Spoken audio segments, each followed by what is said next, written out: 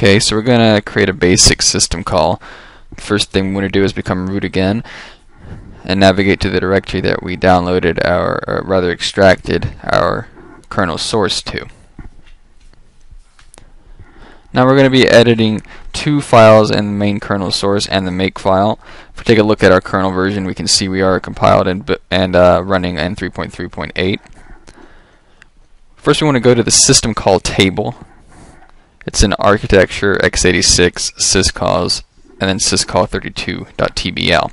If you open that file, you'll see one entry for every single syscall. It has a number associated with it, it has an architecture, and then it has names. So we're going to make ours the next number in the list, 349.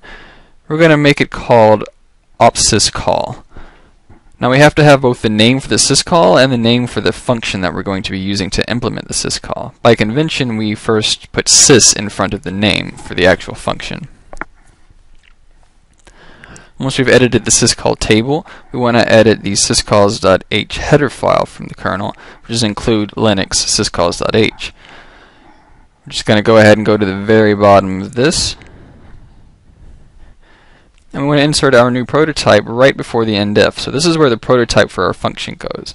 I'm going to have this syscall just take a string and print it to the uh, syslog file. So I'm going to declare it as asmlinkage, returns it along, it's called sys syscall. This has to match what we put in the syscall table.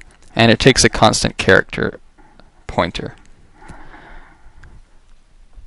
Now that we've edited the two major files, we want to go ahead and create the implementation of our system call. So I'm going to create a new folder called opsyscall and go in and edit a C file in there. You can call that whatever you want, so I'm going to call mine syscall.c. I'm going to include two headers. The first is kernel.h, which gives us access to printk and the kernel alert macro and things like that.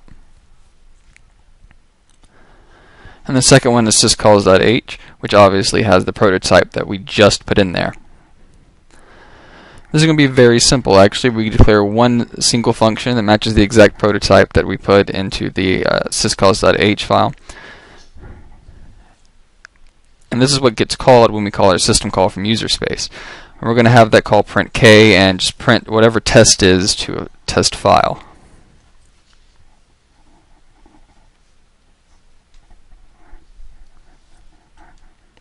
And we return 0, say that there was no error. And this is the implementation of our system call, very, very straightforward.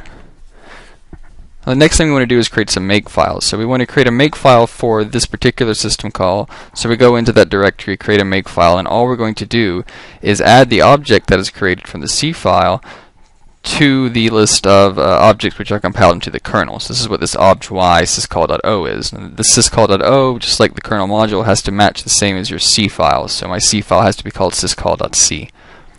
And then we need to edit the actual kernel make file in the base directory of your kernel and look for the core Y line. This lists the directories it's going to look for to compile things into the core. So we're going to add the directory opsyscall to it.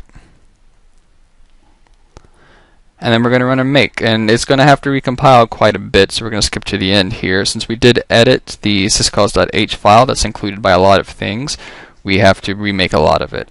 And once it's finally done, we do a make install which copies over the new kernel build, and then we do a reboot so that we can get into this new kernel build. Once you've rebooted, we can create a user space program to test our system call. Now this is even more straightforward. We just want to we want to include unistandard.h, which gives us access to the syscall function, and we need to remember that number that we used for our syscall. Syscall function takes two arguments. The first one is the number of the syscall, 349, and the next one is a variable length. And what we have here is the string that we were going to pass to our syscall. Now, if your syscall has three or four arguments, you can just list them out here because it is a variable length. Simple user space program, compile it up here, and then run it. So this should have called the system call in the kernel, which print our test message to the var syslog file. So we're going to run as root so that we can check that file. And we do see that it print. And that's basically compiling a system call into the kernel.